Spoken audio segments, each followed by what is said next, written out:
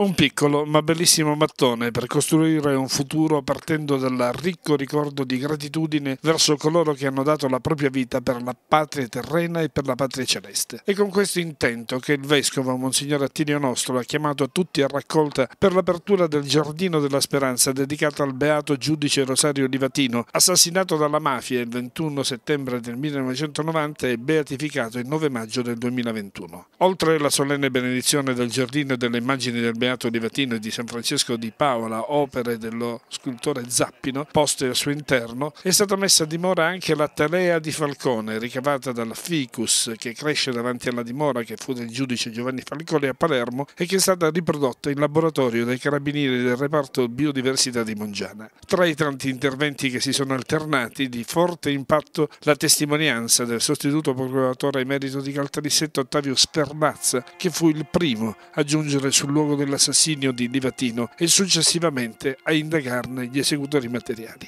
Non sapevo di fronte a quale spettacolo mi sarei trovato e comunque sapevo che là giaceva un amico, ma un grande uomo soprattutto. Io ho sempre detto che là sotto giaceva un uomo giusto, perché forse la parola esatta è questa, oltre che magistrato un uomo giusto, un magistrato eccezionale che ha saputo coniugare fede e diritto in una maniera veramente impareggiabile e credo che abbia meritato questo riconoscimento della, beatificazione, oltre che ovviamente questi momenti di ricordo che, che servono a fare crescere la società civile perché Rosario deve essere un esempio per le giovani generazioni.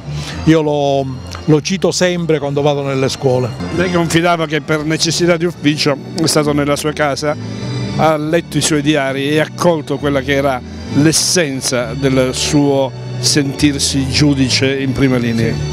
Sì, appunto, dico sua, questo suo modo di interpretare un ruolo difficile è sintetizzato proprio in quelle parole, eh, subtutela Dei, che dice tutto della personalità e della levatura morale e spirituale di, di, Rosario, di affidarsi alla luce di Dio che deve un po' rischiarare la mente del magistrato per la ricerca della verità. E questo è il senso di quell'abbreviazione. Toccante, coinvolgente, carico di stimoli il discorso di Don Luigi Ciotti, presidente di Libera. A chiudere la cerimonia il vescovo Attilio Nostro. Nasce il Giardino della Speranza nel segno del Beato Livatino e nasce anche nel segno del Giubileo del 2025.